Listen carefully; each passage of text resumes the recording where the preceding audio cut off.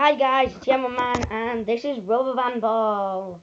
And I wanted to tell you that you don't have to type in a username or password yet. Uh, now, um, what you have to type in for, to go on my website is cajoegaming.simplesite.com, I think. Yeah, I think it's .com. And that'll bring you to the website so you don't have to type a password in. And as well, when it said the edit button and add a page at the side, you you don't have to do that anymore. There's like it's not on there, so you don't have to like avoid it um, if you want to go on like the fan page or anything. So it's now uh, you can now find it at cajoegaming.simplesite.com. That's all from me and Rubber Band Ball. Bye.